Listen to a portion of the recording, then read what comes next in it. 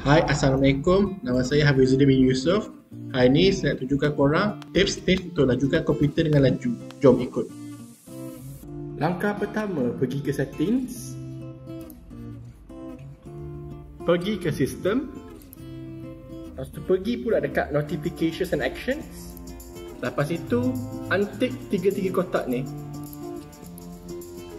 itu saja daripada saya. Kalau korang ikut semua arahan saya, maksudnya komputer tu dah disable notification.